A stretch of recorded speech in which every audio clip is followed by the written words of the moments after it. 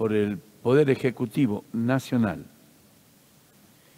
por el decreto 356-2022 del día 30 de junio, Monumento Histórico Nacional.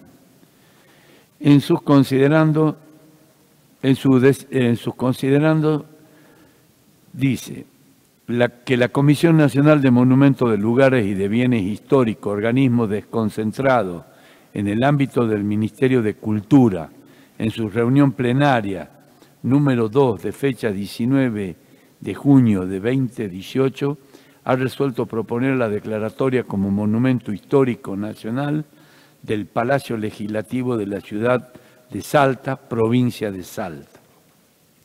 Que el edificio fue construido originalmente para Palacio de Gobierno entre los años 1890 y 1902, según el proyecto realizado por el ingeniero Miguel A. Araos, que la construcción fue iniciada por el arquitecto ingeniero Francisco Righetti, continuada por el ingeniero Vicente Arcuati y concluida por el ingeniero Fernando Solá, que al tiempo de concluirse el edificio funcionó allí durante pocos años la sede de gobierno y pasó entonces a cumplir funciones de sede exclusivamente legislativa. Que el imponente edificio conforma un sólido volumen que ocupa casi todo el largo de la calle y posee un cuerpo central resuelto en tres grandes arcadas que su estilo arquitectónico es academicista italianizante con un ordenamiento de aberturas respecto a la masa muraria, con tímpano triangular en la planta baja y luneta en la alta. Que el conjunto en el edificio conforma junto a la plaza posterior y a la plaza Güemes hacia el frente, constituye un destacado espacio urbano, relevante testimonio de la arquitectura del siglo XX. Que la Comisión Nacional de Monumentos de Lugares y de Bienes Históricos aconseja su, declaratoria. Que la Dirección General de Asuntos Jurídicos del Ministerio de Cultura ha tomado debida intervención. Que la presente medida se dicta en el marco de lo establecido en los artículos 99, inciso 1 de la Constitución Nacional y primer inciso B de la Ley 12.665 y sus modificatorias.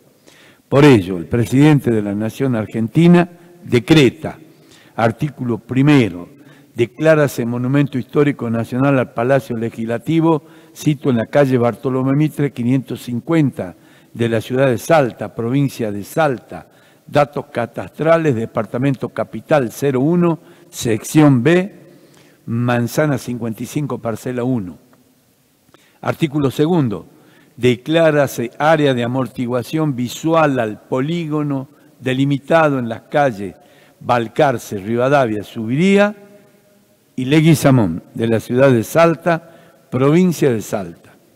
La Comisión Nacional de Monumentos de Lugares y de Bienes Históricos realizará las gestiones y procedimientos establecidos en la Ley 12665 y sus modificatorias en su reglamentación y en las normas complementarias y deberá practicar las inscripciones correspondientes en los registros catastrales y de la propiedad inmueble. Artículo 4.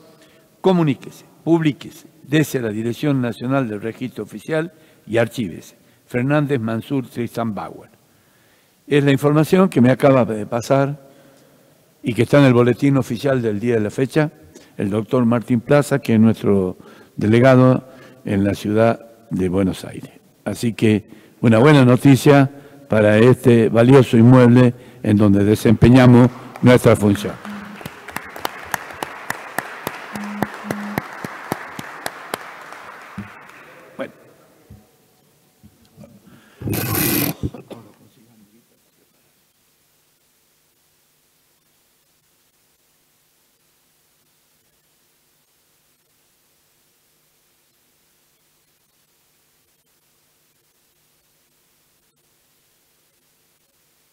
Orden del día, considerar los asuntos en el número 13-2022. Dictamen de la Comisión de Derechos Humanos y Asuntos Indígenas en el expediente 90-30913-22.